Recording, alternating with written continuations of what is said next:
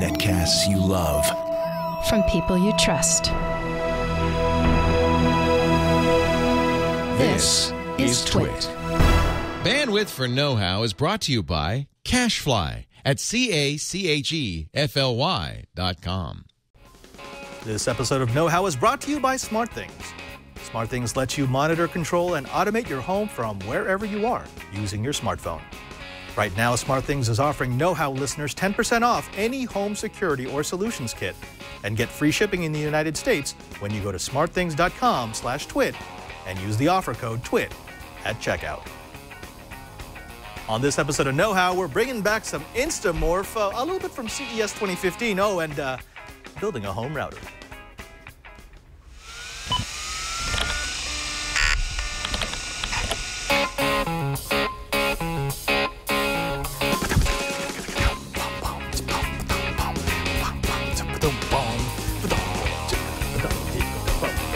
Ready for this?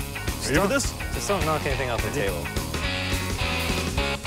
Welcome to Know How. It's the Twitch show where we build, bend, break, and go back to our title screen. I'm Father Robert Ballecer, the digital Jesuit. And I'm Bryan Burnett. And for the next 45 to 50 minutes, we're going to be taking you some of the projects that we've been doing so that uh, you can geek out on your own. Yeah, yeah, yeah. We've been uh, having a good time this week, and I would like to take the opportunity to thank Anthony, who's running the board today, for uh, hopping in and helping us with this pre-record we're doing. Yes, and uh, normally we have Alex, and Alex knows knows the whole whole deal. The man in Uh, the shadows. He's he's doing us a big favor by doing this. Oh, I'm He's sorry. hitting all I'm the sorry. buttons back there. He likes all of the buttons. so Oh, oh, I did it again. Sorry. this, this should be an interesting. He's episode. messing with us. He- very much so. He knows what he's doing. Yeah.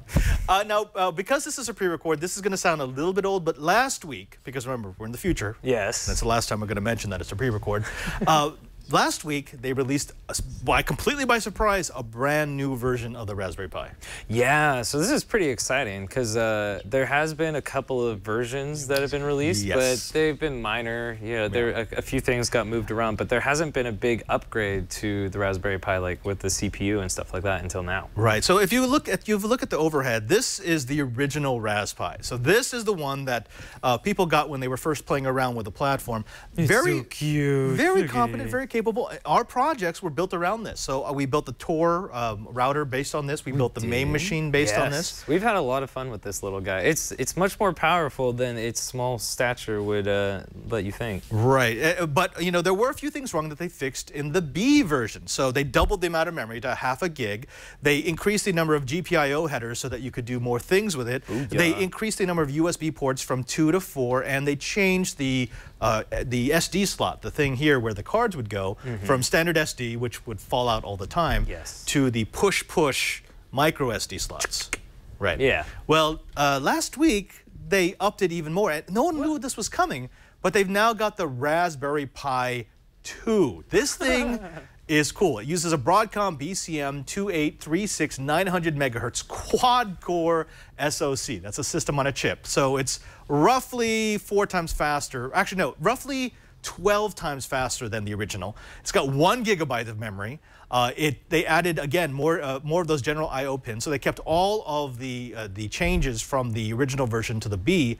And uh, now here's here's actually something that's very cool. A lot of people have been using the Raspberry for Internet of Things projects, right? Yeah, tying things together. Yeah. Um, I know Aaron Newcomb's been doing some home automation stuff with his. Right, because it's so inexpensive. It's 35 bucks, and by the way, the new version is 35 bucks. So No, because that was going to be the thing. I, yeah. That's the part of the reason why they kept saying they weren't updating it because they wanted to keep costs at the same level. Which it's kind of strange because they're going to price the new one at 35, but the old one is also going to be 35. I'm sure that's going to change. That's, Yeah. that's going to change at some point. But the idea is that the new one should cost you $35. They want to keep this in- incredibly low. Right. The reason why they made this, Bryan, and, and you know this, there's been a lot of people who say, oh yeah, the Raspberry Pi is cool. I like to build projects, but you know, it's underpowered. I can't really, I could use it as a MAME, yes. but I'm not going to use it as my primary PC. It just, Yeah. it doesn't really have the.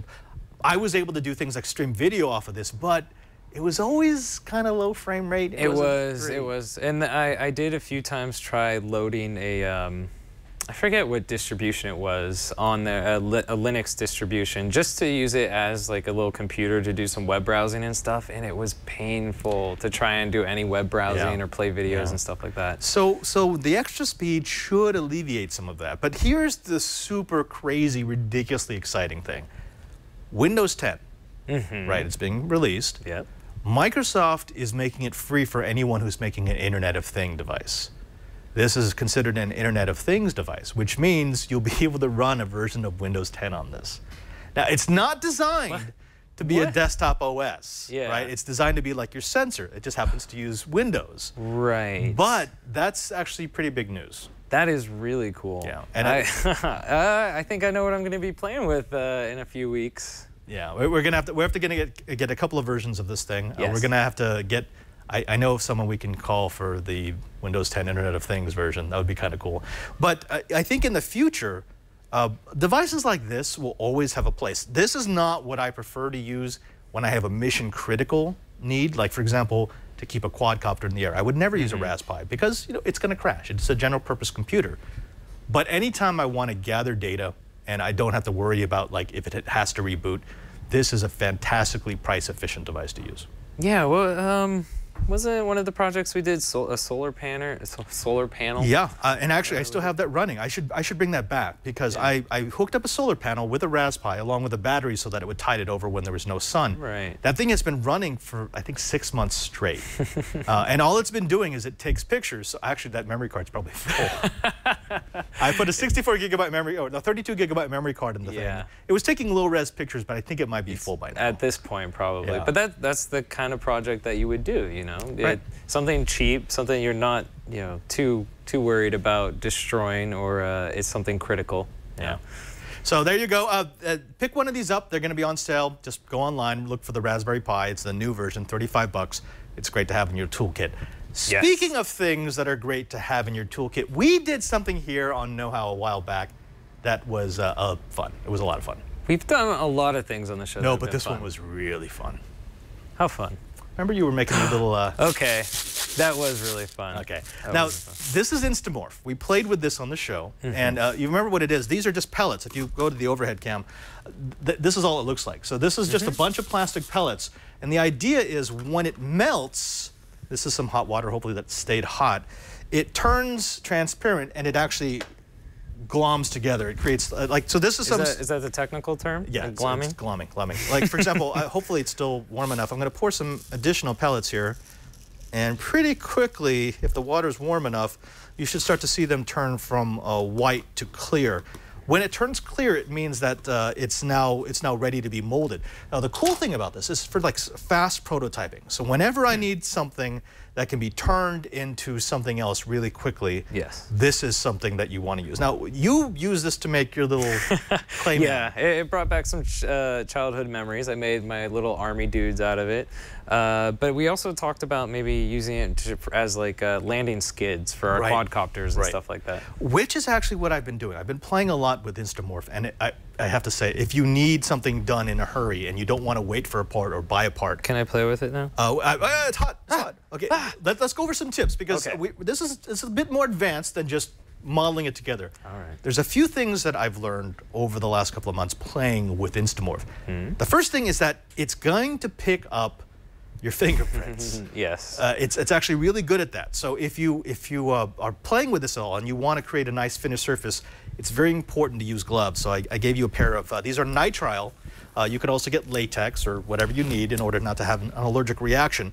But this will essentially take your fingerprints out of the uh, out of the equation, which Are is you good. worried about people copying those fingerprints or something? No, I just you know I just I like You want- I want the finish to be right, right? If I'm making okay. a part, I don't want my fingerprints all, All over over it. it. Yeah, okay, okay. And and this also makes it easier to work with because it can get kind of gummy and you don't want it sticking to your hands. Yeah, it can get kind of gummy. Um, but the, I mean, the coolest thing about it is it feels just like clay, or you can mold it just like clay, but it does have like a smooth plastic kind of texture. Absolutely, absolutely. Now, now one of the cool things about Instamorph is that you can reuse it over and over and over again. That's the whole idea. Uh, but one quick note is when you reuse it, it starts to pick up anything that it's been exposed to. So as you can see, like compare the color of kinda- this and the new pellets. These are like perfectly clear, and this one's kind of Yeah, Yeah, so just gray. be careful with that because that's going to happen. I mean, uh, so just just know that if you reuse it, Mm-hmm. eventually it's just going to become discolored like crazy. I don't I don't really care about this for this project. Yeah. But uh, that's that's something to know. Have you tried dyeing these yet? Yes, uh, you have to be you have to dye it a long time to make So, it. oh, really? So you gotta just let it sit in Yeah. food coloring for a long time in hot. I guess you have to keep it hot the whole time too, huh? Uh, something else is so I have this in a plastic container, which means it's going to glom to the bottom. So you got to be careful. Uh, It's, it's best to use glass. I, I like to use plastic every once in a while just because it makes it a little easier to handle. Uh, but when you're cutting this stuff, this this is actually really really important. I, I lost my cutting board. Uh, so I'm going to use the back of the GizWiz sign here. Uh, no, no, They don't I- need I it. I wouldn't do that. I wouldn't do that. Uh, there's there's something you should uh, actually. Uh, if, while I keep talking, could you grab it? It's in the kitchen. It's a All whiteboard. right, I'll be right back, I'm everyone. sorry. Oh, one of the other things that I learned about uh, Instamorph is that it helps to have tools that have curves. Uh, the problem with using something like this, so this is a standard box cutter, is as you drag this across the surface of the Instamorph, it tends to grab it and then pull it. And what will happen is you'll end up just elongating the surface rather than, than making a clean cut. You don't want to make a lot of lateral motion. You want to make sort of down motion. Now, the down motion is normally okay for, for large blades, but uh, uh, for a lot of the curved shapes, it's hard to do. So uh, let me demonstrate what, what I mean by that. Uh, let's go ahead and use the whiteboard surface. That gonna- is the thing I was supposed to find, right? Yeah, yeah. That's not someone else's stuff. So if I put this down like that, Mm-hmm. and then I try to cut it with this, what's going to happen is rather than doing a cut, it's just kind of Oh, kind of bend yeah, it. It's, it's all- it's just like it's not really cutting, and if I try to put more pressure, it just starts stretching it. Yeah. Okay, well, that's not good, uh, obviously, because it's just going to destroy the shape Mm-hmm. of whatever it is I'm, I'm trying to do. What I can do it instead, let me go ahead and re- Mold it to it your back. will. Get it back to the heat. I need, I need more heat. Maybe I should have grabbed some of that while I was in the kitchen. I brought some extra here. I can use this. This is a rotary cutter. So that's like a box cutter, but it has a circular blade. So Pizza cutter. There you go. See? Uh, this is not a pizza cutter. This is Oh. a, this this is actually like an X-Acto knife. tiny It just piece happens to be circular. Oh. But when I cut with a circular, and this is a lot thicker than it should be. If I cut with a circular rather than a flat blade, it, the, the force is always going down and not lateral. And so what happens is you end up cutting it rather than Oh, yeah. ripping it. That's a much smoother uh, edge you got there than the other Right, one. right. So that's that's what you want to do. You want to be able to, to to cut a nice clean edge. Otherwise, the, uh, the the whatever you're trying to make, the the mold is going to turn into that. Yeah. Yeah, you, Yeah. You don't want that. That's not that's not really useful. Okay. So Uh, what's now- your end game here, Padre? My end game. The reason why I started doing this is because I had this. yeah. You This- your quadcopter frame. Yeah, this is a quadcopter frame. If you take a look at it, it actually it fits onto this like so. Uh, this buckles onto that standard 250 frame that we've been playing with, the one that we built for Know-How. Yeah. But you'll notice that there's these little holes all over. Yeah. You could put these little grommets, these little vibration dampeners, they look like little balls, into those holes, and then you can put it into the top surface like that. And what happens is it becomes what's called a clean plate. So as the frame vibrates, this part stays steady, and which is great for mounting cameras. Yeah, exactly. That's what we do with our GoPros. Right. so I had a couple of unsuccessful goes at it. This was the very first one. Actually, that's Are these your prototypes? these, these I don't I don't even want to call them prototypes. These are these were horrible. So all, all I did for this one was I uh, I actually just took out the uh, the Instamorph and I put this on top of it. I just started pushing. Use pressure, and then you cut around the edges. and then I cut around the edges using my uh, my my uh, circular blade here. Uh-huh. It kind of worked, but what happened was it ends up being way too thick. I mean, this is good strength, Yeah. but it's it's incredibly thick when you compare it to the original. Not so useful.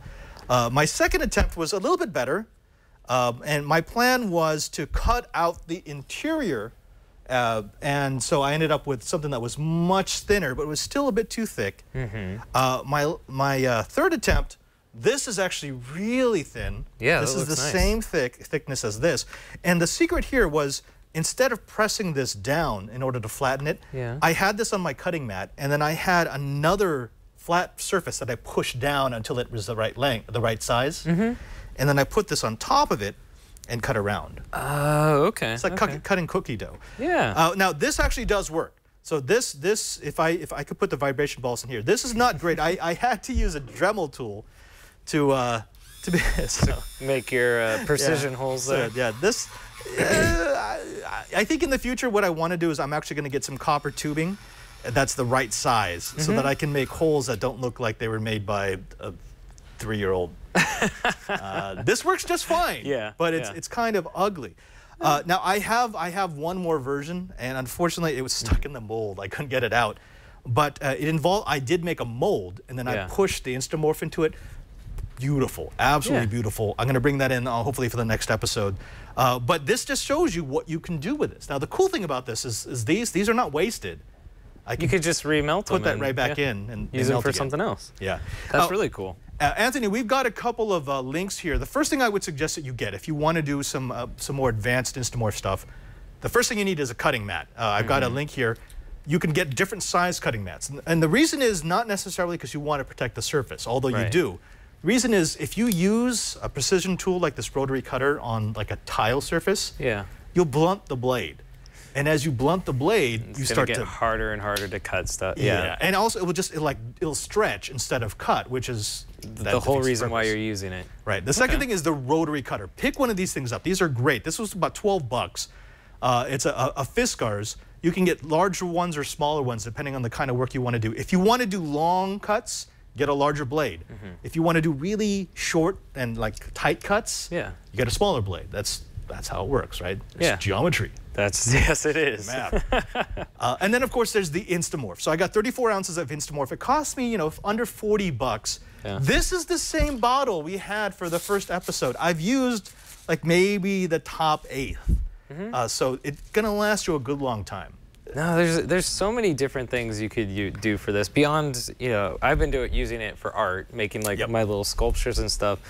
But the what more you, I what you making there, Bryan? well, I might make a little clay guy right now. Okay. But uh, unless you need to use it for No, something. no, no, no. Uh, but the more I think about it, uh, the more I would like to use it for something like uh, my motorcycle.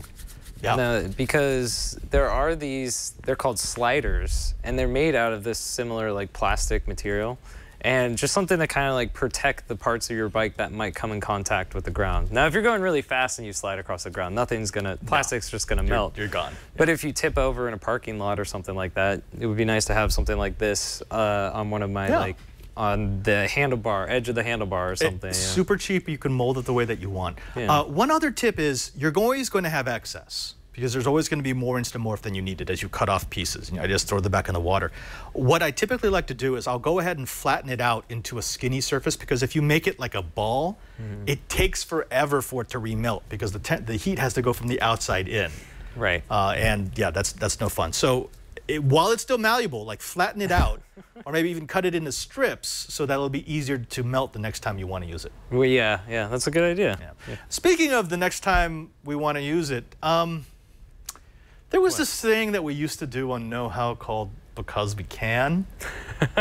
I thought that was every episode. Of Uh, yeah, but you know, there was specifically things that had absolutely no productive use whatsoever. okay. I was messing around with Instamorph, and uh, well, What did you come up with? Anthony, just uh, just run the video.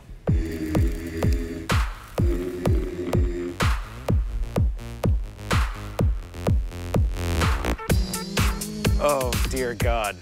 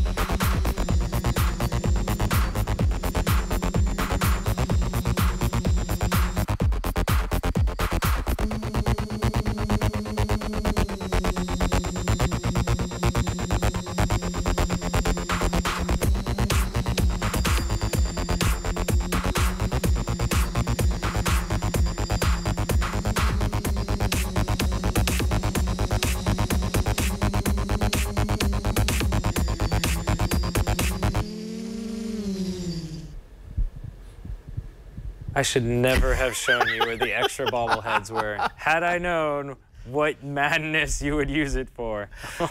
Uh, yeah, yeah. now, I, I will say this. My, my original plan was to um, just put the bobblehead. I want to like cut the top off the bobblehead doll so that the head would bobble. yeah. The problem is having something that weighs about 60 grams bobbling. Those things are heavy. Those are kind of heavy, and I, I was like, I, I think it's actually going to make the, the craft oscillate. I didn't really want it oscillating in the air. That would, that would have been a bad thing. So I ended up instamorphing him to the frame. Uh, now, eh, cool, cool thing. Uh, you can't just stick Instamorph and then put the doll on top of it. It's not Right. like that. So there's a cavity inside those bobbleheads where the mm-hmm. spring goes up into.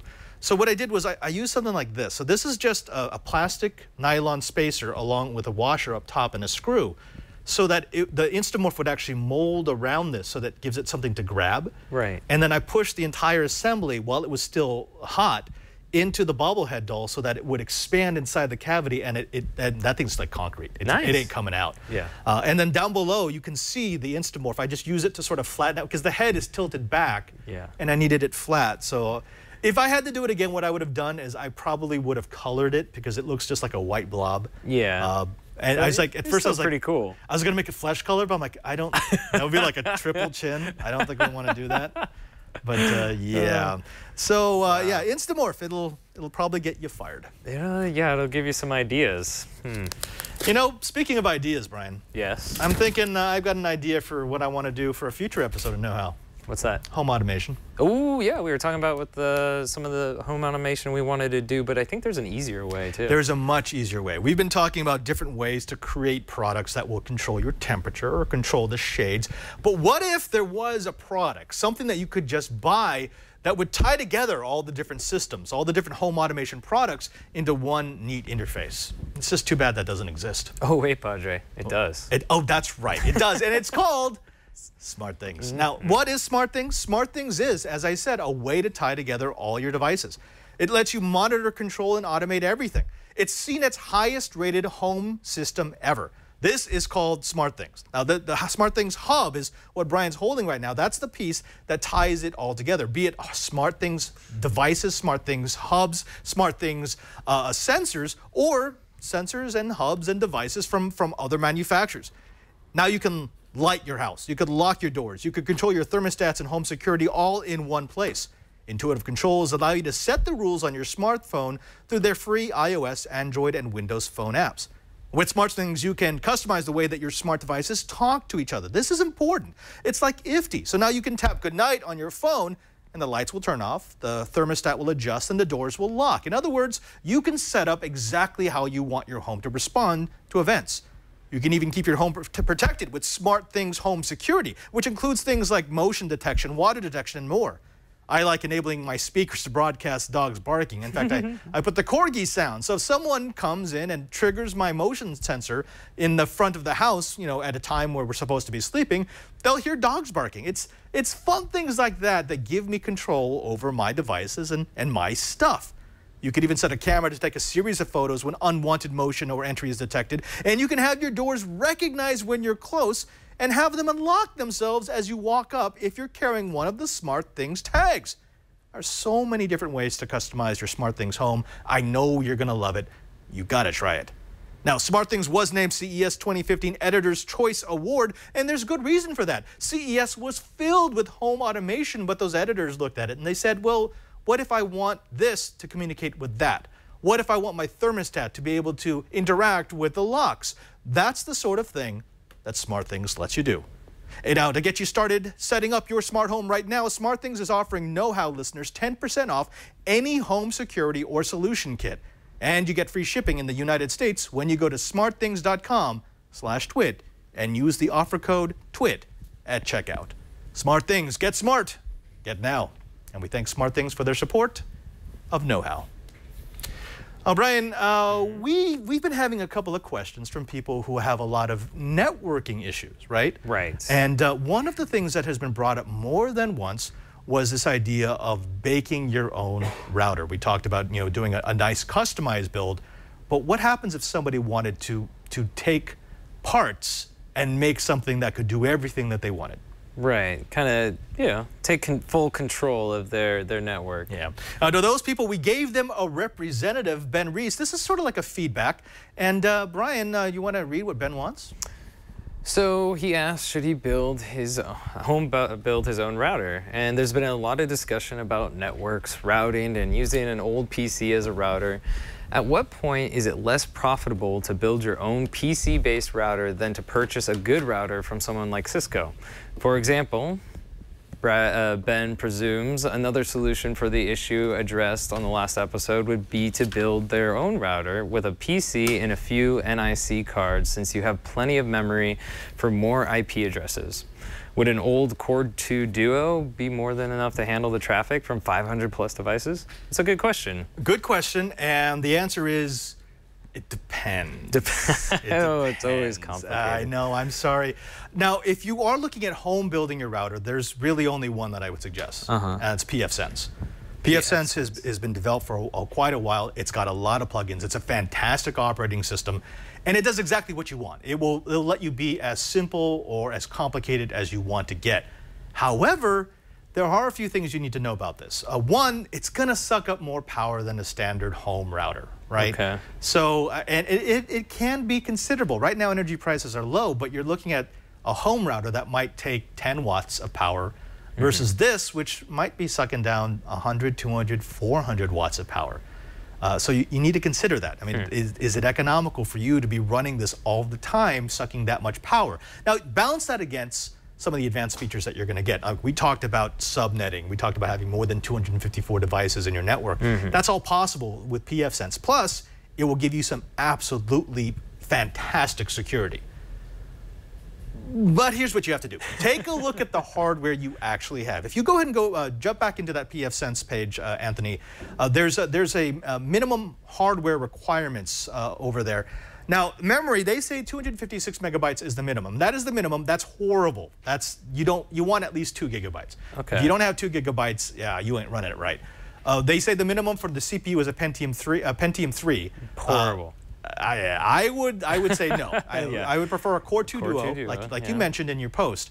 Uh, they also say that you need a one gigabyte hard drive. I actually prefer a one gigabyte compact flash card. Which isn't too which is too bad. Yeah. Uh, or if the PC you have has USB 3, I would even say run it off a USB drive. It, it would be plenty fast enough. This is a lot like the, um, the FreeNAS installation that we made where once you've loaded up everything, it doesn't really do a whole lot of writes anymore. Right. So you're, you're okay. So you have to worry about that. Uh, you also need NICs. So you're going to need a minimum of two, right? You want mm -hmm. one for the WAN and one for the LAN. It's got to feed the inside. Right. Uh, stay away from Realtek. Realtek NICs in a pfSense box are horrible. If you can get them to work, the performance will, will be just terrible. Mm -hmm. What you want are Intel-based NICs. So get something with an Intel chipset. There's plenty of them uh, and they're, they're, not that expensive. In fact, I just bought one. Mm -hmm. It was a it's server class, which is different because it means it has its own dedicated processor, so it offloads that from the CPU. Okay. And it had four gigabit ports, and I think I bought the thing for sixty-seven dollars. Okay, so not um, too bad. Yeah, which is which is great because it, it allows me to really play with subnetting and you know going off to different networks. Hmm. Now, here's what you need to consider when you're actually building the box. There are performance classes that will require different amounts of hardware. If you've got it hooked up to DSL, so you're talking 10 to 20 megabits per second of throughput max, you can get away with an Intel Atom, like really low end, and a gigabyte of memory. But the faster your internet connection, the more powerful hardware you're going to need? Exactly. As you start to route more packets, as you start to support more devices, and as you start to add more features to the pfSense box, mm -hmm. you're going to need more CPU and memory to support that the Intel Atom is uh, literally like if there's three people on the network. That's uh, that's the only time I would suggest that solution. And and again, that's 10 to 20 megabits. That's really on the low end of what we would consider broadband. The next step up is 21 to 100 megabits per second. So that's like a cable modem, right? Right. A cable modem or, or even or even maybe a fast cable premium tier.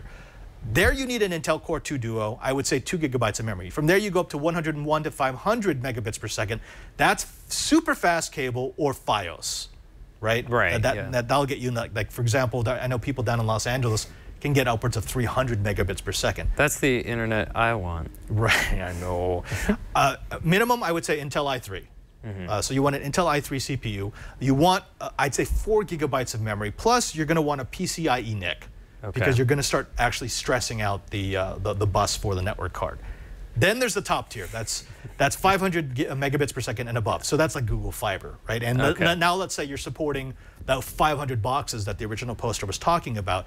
I'd say the minimum there is Intel i5. I would actually go Intel i7. now we're getting pretty serious. Now we're getting pretty serious. I'd say you know eight gigabytes of memory is the minimum. I, I actually would push more if if I can, if I've got it. Yeah. Uh, and you definitely want an enterprise class NIC, and an enterprise class NIC or network interface card will have that processor to offload a lot of the packet handling from the CPU. Okay. So basically, what I'm gathering is if you do have old hardware laying around and your internet connection isn't that high of a tier, then it might be a good idea, or you might be able to put something together with the cost benefits of not buying a full-on router. Or? Yeah, you know, see, that's that was the part of the question. I mean, the first part of the question: Can I build a home uh, a homebrew router? Absolutely, you can do it. In fact, we're going to do it on the show. I promise you, we're going to have Yeah, a it sounds like it'd be a PF fun Sense. project. I just, I'm not sure. Is it economical don't or? I know, and not unless you do, you're doing something really freaky with your home network, uh, because you've probably not got more than 30 devices hooked up at your home, No. and you probably don't have a gigabit connection. No, I Um, don't. and and I mean, it's fun to say that it's my box until something breaks, and then you have to troubleshoot your box rather than just power cycling it. Yeah, well, the thing is, is if something happens to your router and you It's have to get on the internet to figure out what happened to it, That- that's gonna that's gonna be an issue. That would be. Um, so I, I always tell people, uh, should when they ask me, should I do it? I say, yeah, do it. Absolutely Mm-hmm. do it. Play with it. I don't, you know, don't think that you're saving money doing it this way. yeah, it would just be kind of a fun project, and you Yeah. probably learn a lot doing it too. learning, and we're all about learning. Yeah, absolutely. Yeah, so we're going to teach you how to make a pfSense box. I've actually got parts on order so that we can. Mm-hmm. Uh, I think I'm going to combine the pfSense box with the oil uh, cooled PC. Oh, yeah, that would be That cool. one actually kind of cool. Why not? You know what? Because we can. Well, one of these days, I want you to give me a, a good recommendation on a router because I, I have an old uh, Netgear that I want to get rid of, and it's. But then when I asked you for which one I should get, you're like, oh, don't get one yet. yet. Well, because you were looking at the the Linksys, the AC, which yeah, the one that looks cool. it looks good. Uh, It does. It's not. They It's said there they yet. were going to support open source on it, and they're not. and it doesn't really quite do it just yet. So I'm waiting for that. When when they turn that on, that is the router to get. Okay. Uh, unless, Because that's like a $200 router, Yeah. I think. yeah. So keep waiting is what you're telling me. Or build my own router Or in the meantime so that I How about this? When more. when we build the oil PC pfSense router, you can take it home.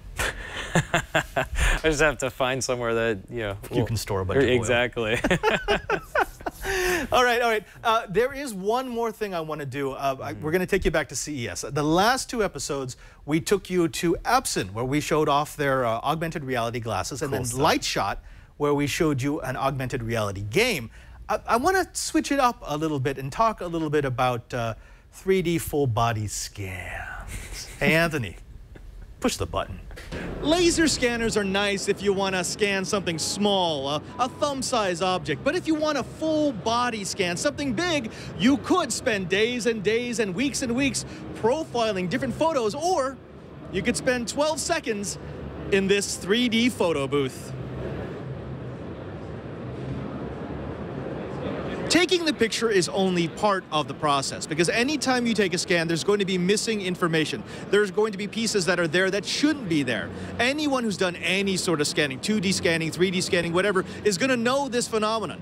Well, what Artec does is they've got proprietary software that actually looks for those missing pieces. It looks for the holes. It looks for the things that probably should be there. Uh, it's a lot more difficult than it sounds, but they've trained their software to know what the human body should look like. This is what the model looks like after it's done the first pass. So it's gone into grayscale and it's figured out all the missing pieces. Now, remember what it looked like in the full color. Now look at it what it looks like in the grayscale. It has accurately figured out everything that needs to be added into the scan. Remember what this thing looked like when it first came out of the cooker, and now it's added in so much of that missing information. It's even got my smirk.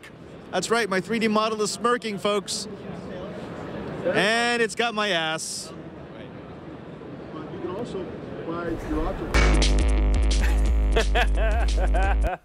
optical. you should do the dance after that. Oh my, uh, yeah. So, uh, th- thanks to the folks over uh, over at Artec. It, very cool technology, and uh, one of the parts that I really liked was Uh, I've seen in 3D tech where it does a pretty good approximation of everything, but Yeah. then there are holes that have to go get filled in Right. before you can actually print it. Otherwise, it just looks like garbage. Their system is actually pretty smart about what it fills in. In fact, Anthony, if you go to my screen right now, they, they emailed this to me after the show. This is the actual 3D model. So, uh, yeah, there we go. Look, hey, it's Uh, pretty spot. pretty accurate. Uh, yeah, that's actually even what my shoes look like. Uh, now they they have an option here where I can order a 3D print. I could actually uh, get them to print it up for me, or I could just download the 3D model. They're giving me the 3D model so that once we start having 3D printers on Know How, uh, we'll be able We to We can print out Padres. we can print out as many of them me as all you over want. the studio. Oh my gosh. Use them as little voodoo dolls. I, oh, you- actually, there, there might be a market for that. That- yeah, uh, that's pretty hilarious. I- I like it- it. It's stuff like this. Where I, I think this is a major area for DIYers. This is going to be something that they're going to love to do because it really allows you to indulge uh, your creative imagination, the ability to scan anything and Yeah. then make modifications to it. I, I think I spoke about this a couple of times during our CES 2015 coverage. Mm-hmm. Uh, the fact that affordable 3D scanners are now right next to affordable 3D printers We're getting there. yeah, it means that I can I can do something like this and then and then improve the model, like you know, take off the fat. Well, you could make. Uh, I mean, if you really wanted to get artistic, you could make like a centaur version of yourself or something. Yeah, or a bobblehead. Or I a could turn this bobblehead into of a yourself. bobblehead.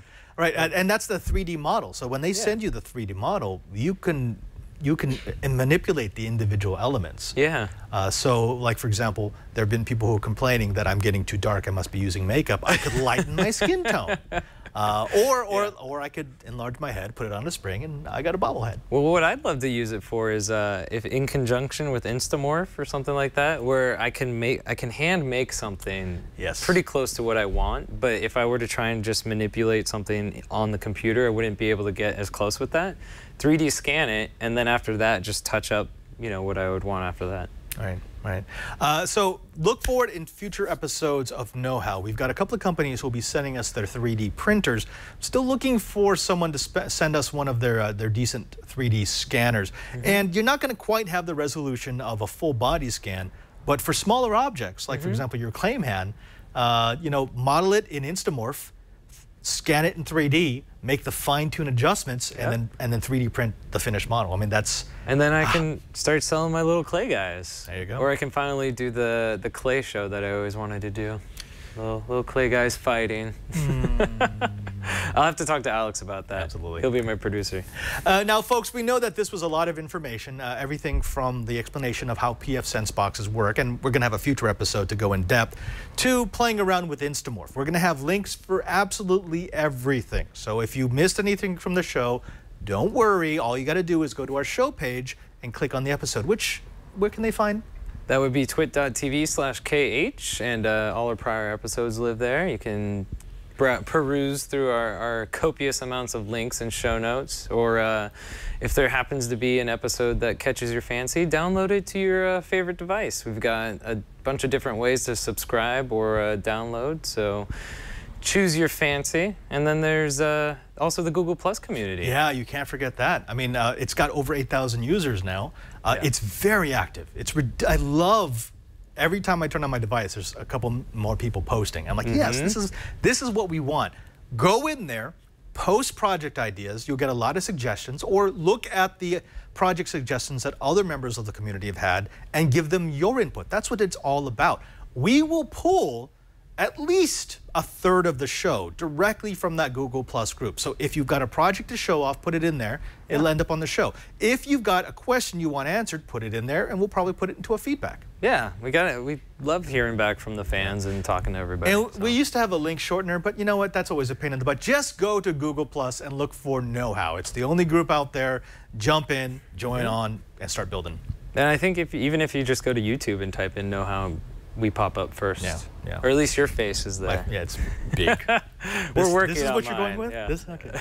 uh, also, don't forget that if you don't uh, fall into the G Plus groove, you can always Mm-hmm. find us on Twitter. That's a great place to find us. You'll find me at twitter.com/slash PadreSJ. That's at PadreSJ. If you follow me, if you jump onto my page, you'll find out what we're going to be doing for every episode of every show I do on the TWiT TV network. I always make sure I announce it ahead of time. Plus, you get to see what I do when I'm not on the show. Things like fly quadcopters with bobbleheads of Leo. I was gonna say, if you follow Padre on Twitter, there'll be little Easter eggs for what's gonna come up in the week. So. Uh, actually, in the group right now, there's uh, I, I I put actually scroll down a little bit. Scroll, keep going, keep going, keep going. Yeah, Oh, yeah, puppy. keep going, keep going, keep going, keep, keep, keep, boom, boom. So I put this picture up the other night. It was late. I couldn't sleep. There was a 24-hour Home Depot near me, so I'm like, hey, I'm gonna go build something. I like the speculation of what people are trying to figure out what Some you're doing. really good guesses in there. So, potato gun, I think, was one of them. Like, I, I would love to build a potato gun. Yeah, but there- potato can. But I mean, uh, also if you if you scroll up a little bit, uh, you can see there's like the the Dremels at the bottom. Actually, there's there's clues all over this picture Uh-huh. of what this is actually going to be. And there was one person in the G Plus group who actually figured it out, so he knows what I'm building. Uh-oh. Uh, but uh, everyone else, pretty good guesses. Cool. Except for that one person who was hydrogen fuel cell for a quadcopter. Maybe. I wouldn't put I wouldn't put it past you. Why not? It. Uh, but yeah, if you're if you're already on Twitter, you can follow me at cranky underscore hippo, and same thing. Lots of pictures of behind the scenes stuff that we do here at TWiT. And uh, before we close the show, we gotta thank Anthony again. Yes, we do. Yeah, don't forget we've got to, uh, NL3 is not here today because he hates you. That's why things ran so smoothly Th- today. Yeah, that's actually what he told us. We're like, hey, we're doing a pre-record on Monday. He's like, I hate the know-it-alls. And I He was like, does. Alex, how could you say does. that? Like, I oh. don't want to come in on my day off. Oh no, no. But Thought so, he was a trooper. so instead of grumpy old Alex, we got Anthony Nielsen. Anthony, could you say hi to the folks? Everyone, Yay! And You like- there we go. Yeah. This this is the man. This is the man who's uh, got the master plan. He also has a dog running around here somewhere. oh yeah, somewhere. Yeah, Actually, he's sleeping back. behind me. Yeah. Anthony's basically the Batman of TWiT. So. He really is. Yeah. He's not the TD that we deserved, but he's the TD that we need right now. So true. Yeah. Until next time, I'm Father Robert Ballecer, And I'm Bryan Burnett. and now that you know how, Go do it. get up. Wow.